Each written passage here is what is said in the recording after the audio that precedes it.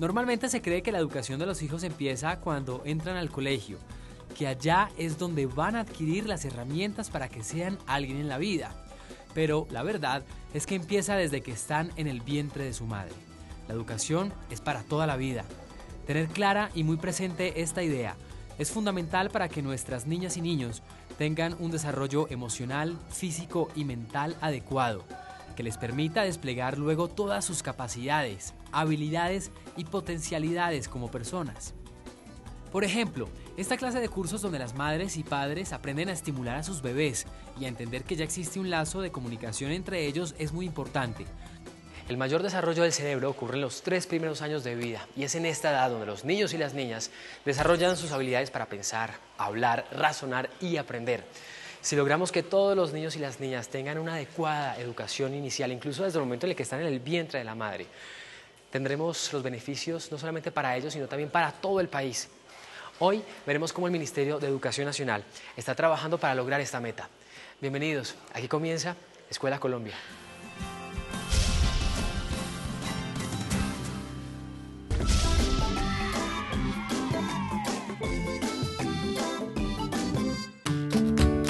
Esta es Manizales, capital del departamento de Caldas y una de las principales ciudades del eje cafetero colombiano. Además, esta linda ciudad posee varias universidades que la han posicionado como un centro académico y universitario muy importante en la región. Pero nuestra visita se debe a otro aspecto que desde hace unos años la ha convertido en un ejemplo para el país. Su preocupación por brindarles a sus niñas y niños de primera infancia una educación inicial de alta calidad. Se trata de un trabajo que, coordinado con las políticas impartidas por el Ministerio de Educación, acá en su Secretaría de Educación ya se ha generado importantes logros. Vamos a hablar con Elizabeth Pacheco, la delegada de primera infancia que ha liderado el tema en educación inicial en Manizales. Bueno, y brevemente, ¿cómo se ha venido implementando ese programa aquí en la ciudad? Bueno, la verdad es que todos los lineamientos que a nosotros nos ha dado el Ministerio de Educación Nacional desde el año 2008 hasta hoy 2013 con la estrategia de cero a siempre tratamos de seguir lo que está a nivel nacional como meta, lo hacemos y lo implementamos aquí en la parte local. ¿Cuáles han sido esos logros? Los logros, el mayor logro digo yo es que ahora en octubre queriendo Dios y todo nuestro consejo municipal nos aprueben, hagamos adopción de política pública de primera infancia en Manizales. Llevamos siete años trabajando por la primera infancia y tenemos un plan estratégico a 2019 que ya eh, consolida lo que es una política pública nacional. Elizabeth, a mí me gusta mucho hablar del monitoreo que ustedes están haciendo. Hacemos seguimiento a través del sistema de información, creamos un sistema para que todos los CDI, las instituciones educativas oficiales, registren niño a niño y nosotros poder saber qué atenciones le faltan, qué realizaciones, inmediatamente hacer articulación dentro de la mesa de primera infancia para poder atenderlos. Elizabeth, yo sí tengo muchas ganas de conocer uno de los centros de desarrollo infantil ustedes están implementando el programa y aparte es un, todo un éxito. Claro que sí, Santiago. Vamos, vamos a los centros de desarrollo infantil y a las instituciones educativas oficiales, porque Manizales es la única ciudad del país que además de atender los niños en los CDI, los atienden las instituciones oficiales sin escolarizarlos, sino ofreciéndoles atención integral.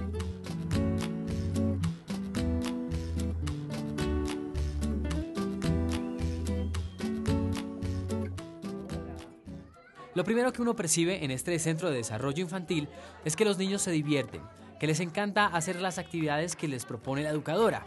En realidad están jugando todo el tiempo. Son actividades lúdicas que les ayudan a su desarrollo integral. Profe, ¿qué tipo de actividades ustedes desarrollan aquí con todos los niños y las niñas? Eh, realizamos actividades muy lúdicas, muy eh, de mucha expresión, donde ellos comparten, interactúan unos con otros, se socializan. Ana Andrea, la otra profe Gloria me estaba enseñando, me estaba contando más o menos que aquí a los niños no se les enseñaba como a leer ni a escribir, que no era como tan importante. Eh, pero de todas maneras se les enseña literatura, ¿o no? Sí, aquí incluso hay un programa especial que se llama Promoción a la Lectura y constantemente se, se motiva al niño hacia la lectura a través de la biblioteca, a través de narración de cuentos, a través de expresión corporal, se trabaja mucho la literatura. Bueno, entonces, ¿qué es lo importante, digamos, que los niños aprendan, sobre todo en esta etapa de vida? Que aprendan a, socializarse, a convivir con otros compañeros, que aprendan a, desarrollar esas habilidades que les van a servir más adelante cuando estén en la escuela. Ahora estamos en la Normal Superior de Manizales, que es uno de los colegios que ya implementó el programa de atención integral a la primera infancia y que Elizabeth, como encargada de primera infancia de la Secretaría de Educación de Manizales, visita con frecuencia para saber cómo va el proceso de educación inicial.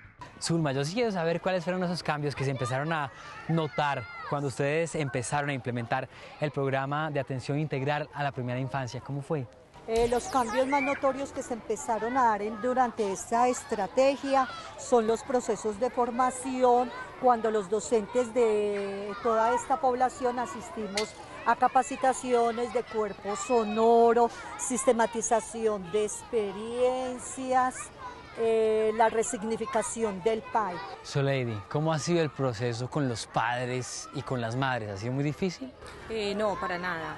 Eh, los padres de familia han respondido muy positivamente. la institución cuenta con la escuela familiar, desde allí se dan procesos de capacitación.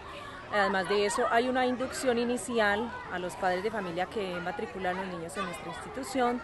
Fuera de eso existe un cuaderno de viajero donde hay una comunicación permanente entre padres e institución. Estoy de regreso en la Secretaría de Educación de Manizales y asistiré a una reunión muy importante para la niñez de esta ciudad. Es la reunión de la Mesa de Primera Infancia, que cada mes cita a todos los educadores que tienen la responsabilidad de desarrollar e implementar los procesos de primera infancia en cada centro de desarrollo infantil. Estos encuentros son vitales porque de esta manera la Secretaría realiza la asistencia técnica a los docentes y hace seguimiento de la estrategia para que los niños y las niñas de la ciudad tengan una atención integral adecuada.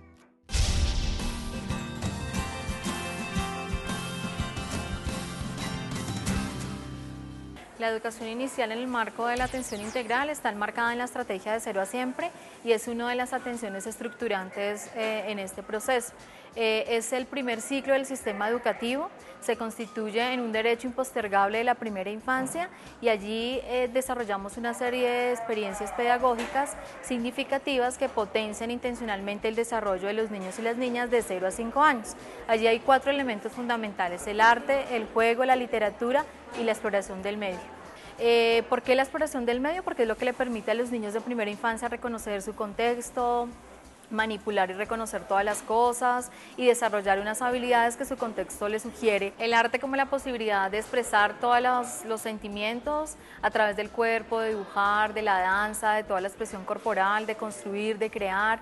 La literatura como eh, la, la lectura de muchos textos, pero no solamente de leer como el acto que conocemos tradicionalmente, sino de leer textos, leer el contexto, construir historias, narrarlas, inventar, crear. La creatividad allí está puesta al servicio de este elemento. Y eh, el juego, pues porque el juego, todos los niños y las niñas de primera infancia juegan y a través del juego pues también reconocen vínculos, establecen, eh, configuran el mundo, entonces estos cuatro elementos están pues, presentes en la vida y en el desarrollo de los niños y las niñas en primera infancia. El Ministerio trabaja para articular esfuerzos con el ICBF, hoy entidad responsable de la atención directa de niños y niñas de primera infancia, para permitir su tránsito oportuno al grado de transición y garantizar así su atención integral en el marco de la estrategia de cero a siempre. El Ministerio de Educación eh, tiene un programa que se llama Cuidarte, que es un programa que creó para potenciar el desarrollo infantil de los niños y de las niñas a través de la crianza, el cuidado y la educación de los niños de primera infancia. Esto estaba dirigido a cuidadores, familias, eh, para que potenciaran intencionalmente el desarrollo. Lo potente de esta caja que son los materiales que son bellísimos y que desarrollan los aconteceres de la vida cotidiana, señalando como los elementos que deben tener los cuidadores para fortalecer ese desarrollo intencional de los niños y de las niñas. Aquí hablamos de desarrollo infantil, pero desde elementos básicos de la vida cotidiana y es lo que ha sido exitoso destacar.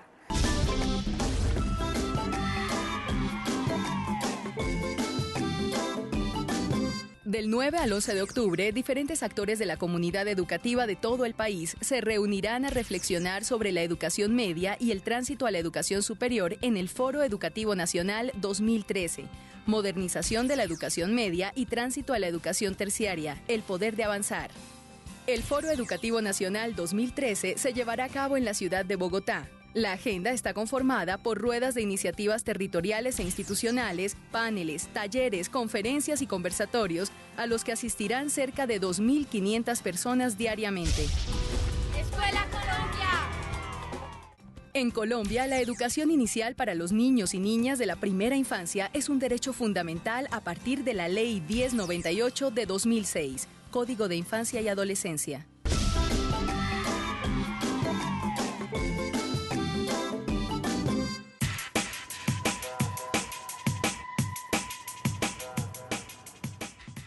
El Ministerio de Educación está empeñado en ofrecerles a los niños y a las niñas la mejor educación inicial.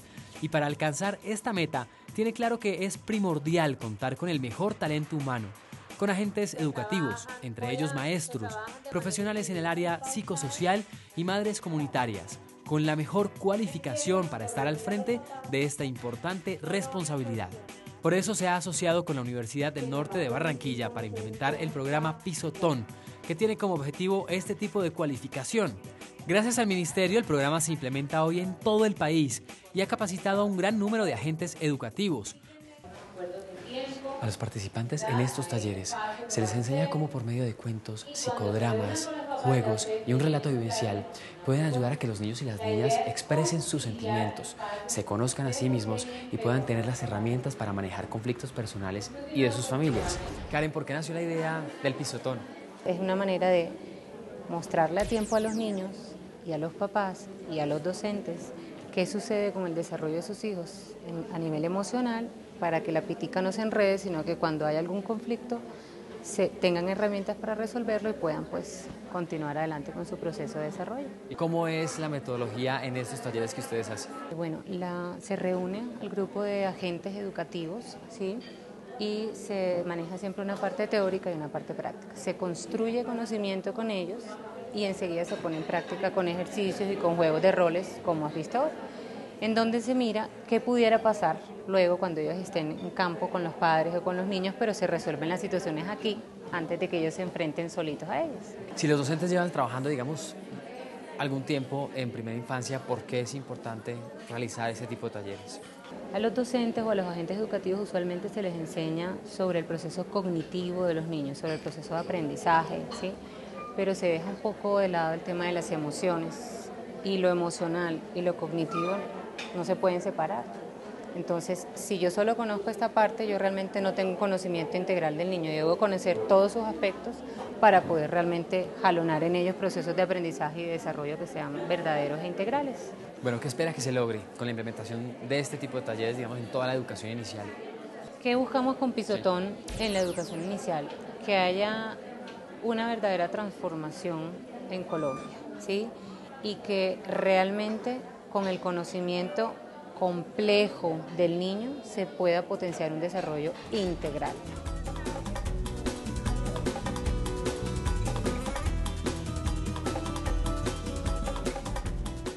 Cecilia, ¿qué es lo que más le ha llamado la atención de estos talleres?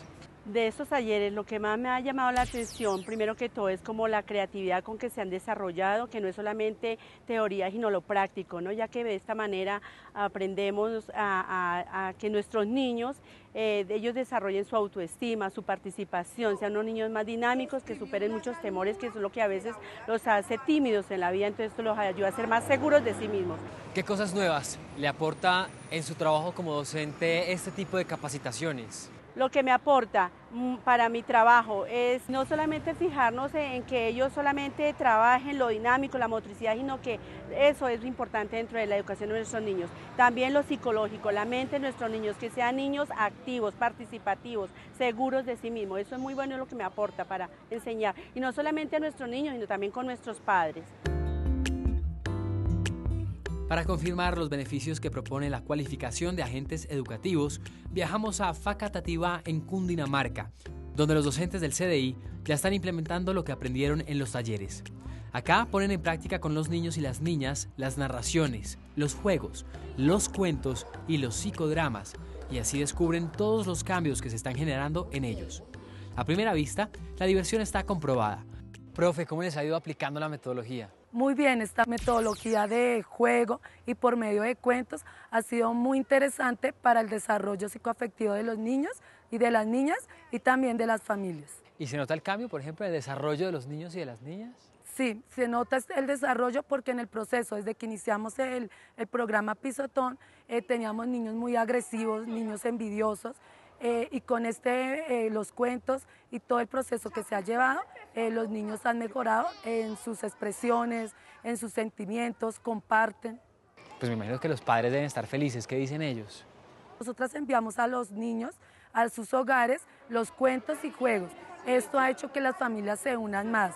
de pronto los padres por el trabajo no estaban tan cerca de sus niños y estos juegos los han hecho que compartan y, ¿por qué no?, conozcan un poco más a sus niños. ¿A ti qué es lo que más te gusta de Pisotón?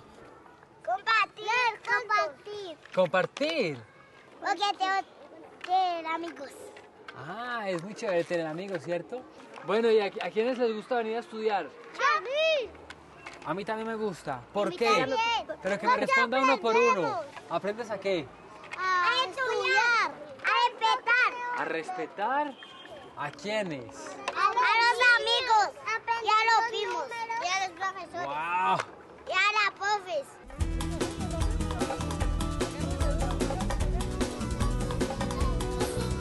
Adiós. Adiós. Los adultos son muy importantes para las vidas de los niños y de las niñas.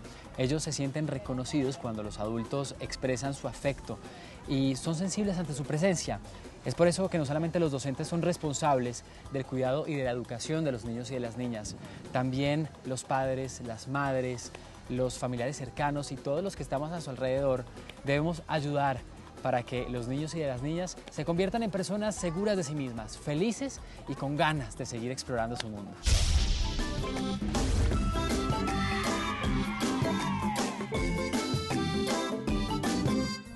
Jugar para ser felices. El juego es el corazón que da vida a los niños y niñas. Dedica tiempo a jugar con ellos y recibirás como recompensa su felicidad y su gran sonrisa. El juego hará más fácil que desarrollen las actividades que les propongas. Déjalos jugar libremente. Prepárales y sírveles con mucho amor la comida. Recuerda empezar por los más pequeños. Procura comer en familia. Y si es charladito, mucho mejor. Verás cómo se nutren el cuerpo y el afecto. Deja que el niño o la niña coman solos, así rieguen o se ensucien. No te preocupes, no hay nada que un buen baño no pueda limpiar. Permíteles que ellos decidan qué comer y de vez en cuando invítalos a ayudarte a preparar su comida. Será más divertido para ellos y se la comerán toda. Al oír sana que sana, el niño o la niña sienten la magia curativa del amor. Los abrazos y las caricias los harán sentir mucho mejor el secreto para los que cuidan niños enfermos es atenderlos, consentirlos y tener mucha paciencia. Involúcralos en su recuperación, invítalos a ponerse la curita, a limpiar el termómetro y a tapar el remedio. No olvides las vacunas, que tu casa esté limpia y lavarte las manos con frecuencia. Conversa con el niño o la niña, permíteles mirar, explorar, correr o jugar en diferentes sitios, cerciorándote siempre de que sea seguro. Disfruta con ellos esta etapa de su vida, diviértete con ellos, jueguen juntos, ayúdalos a crecer felices. El Ministerio de Educación desarrolla procesos de cualificación del talento humano vinculado a la atención de los niños y niñas de 0 a 5 años. Desde 2010 se han formado 17.013 agentes educativos, maestros y maestras. Escuela Colombia. Durante este gobierno, en el marco de la estrategia de cero a siempre, se han beneficiado más de 750 mil niños de 0 a 5 años con atención integral, que incluye educación inicial de alta calidad, nutrición y apoyo psicosocial.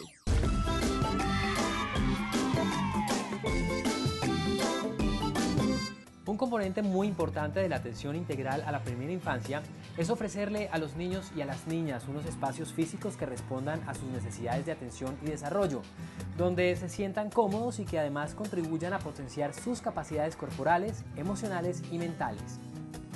Acá en el municipio de Piendamó, en el departamento del Cauca, donde habita la comunidad indígena guambiana, el Ministerio de Educación Nacional financió en su totalidad un proyecto de infraestructura muy importante que no solo tuvo en cuenta los requerimientos de tipo arquitectónico que deben tener los centros de desarrollo infantil, sino que en diálogo con la comunidad guambiana se diseñó un proyecto que tuviera en cuenta su cosmogonía, que sirviera para que los niños y niñas de la cultura misak, como ellos mismos se denominan, se relacionaran con un entorno que les hable de su cultura, de sus costumbres y de su territorio.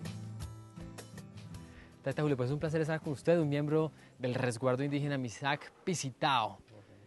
¿Cómo fue la concepción, digamos, del diseño de la casa del Taita Payán? La construcción de la casa Payán hemos encontrado la arquitectura antigua para diseñar acá en este resguardo mm, de Pisitao y también en Guambía. Entonces, dos casas payanes hemos diseñado eh, para mirar a los niños de la primera infancia. Por eso desde ahí hemos diseñado qué es el territorio, qué es la gobernabilidad, qué es la espiritualidad, que va relacionado toda la cosmovisión con el mundo misak.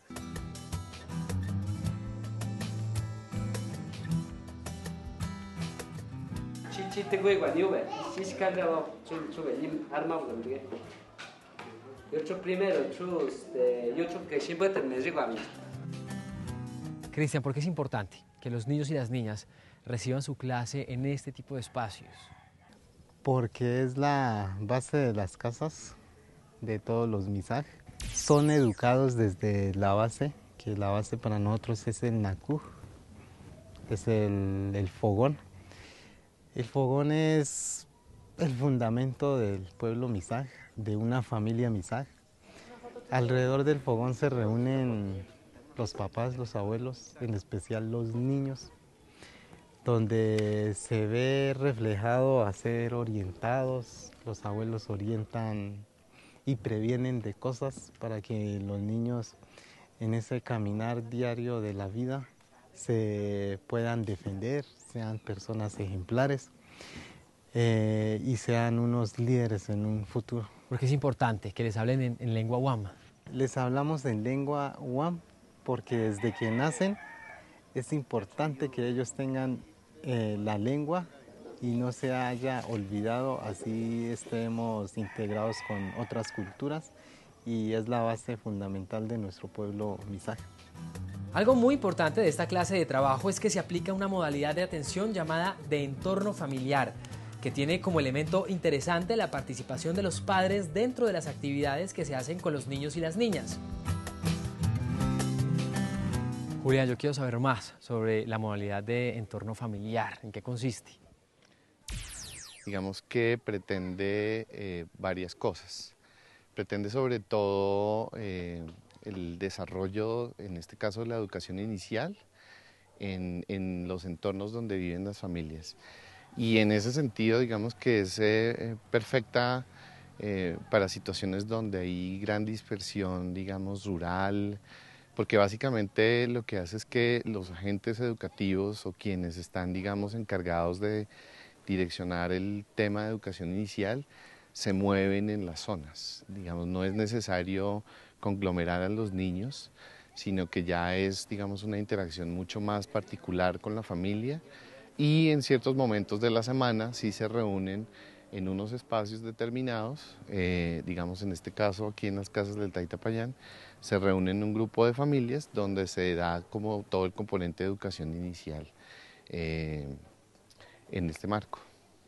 El programa de atención a la primera infancia, tengo entendido que uno tiene que conocer la zona, ¿no? Y el tema cultural de los niños y las niñas. ¿Cómo apoyó el Ministerio de Educación todo esto?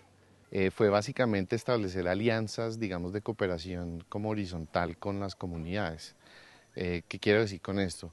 Quienes realmente saben, eh, digamos, de sus entornos son las comunidades, los pueblos, en este caso, digamos, el pueblo Misak sabe. Entonces lo que hicimos fue, digamos, tomar un poco de su experticia y empezar a hacer unos diálogos muy em, digamos, intensos y técnicos con ellos. Entonces creo que ese fue como el mayor aporte que le hizo el ministerio, en este caso a las comunidades, y es eh, dejar capacidad instalada en términos de la atención integral. Porque es importante para el Ministerio de Educación esta clase de proyectos. Eh, todos esos lineamientos que se están desarrollando desde la dirección tienen que lograr un asidero en los territorios. Es decir, eso cobra vida es cuando se traduce en la atención integral a la primera infancia aquí en el territorio. Y son las comunidades las que le dan vida a eso. Es ahí donde se, se logra como la pertinencia y por ende eh, la calidad en la educación inicial, que es lo que, lo que en últimas está buscando el ministerio eh, a través de la dirección. ¿Y cómo se hace ese trabajo? La cultura en este sentido y su revitalización para nosotros es una perfecta excusa para lograr lo que queremos y es que toda la comunidad empiece a girar alrededor de los niños y de las niñas y por ende que eh, pues que se logre lo que lo que pretendemos y es el desarrollo integral y la educación inicial. Hoy hemos visto cómo el Ministerio de Educación Nacional está enfrentando el reto de hacer que la educación inicial contribuya a potenciar las extraordinarias capacidades de los niños y de las niñas en sus primeros cinco años de vida.